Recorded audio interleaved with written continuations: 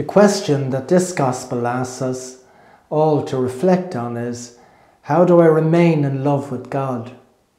Like most of our relationships that we want to keep alive, we go back to its origin.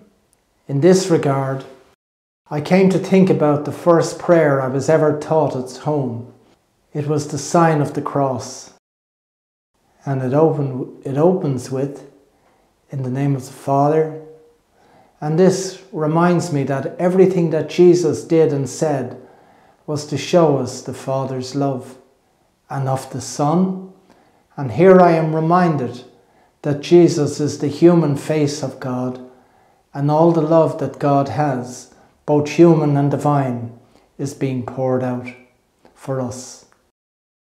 Jesus, through his human nature, gathers all humanity in one offering to the Father. And of the Holy Spirit, Amen. And I am reminded that out of the love of the Father and the Son comes the love of the Holy Spirit who will bring to my mind all the things that Jesus said and did, so that I can remember and imitate them, and in this way remain in His love. The Amen is my yes to this offer of God's love.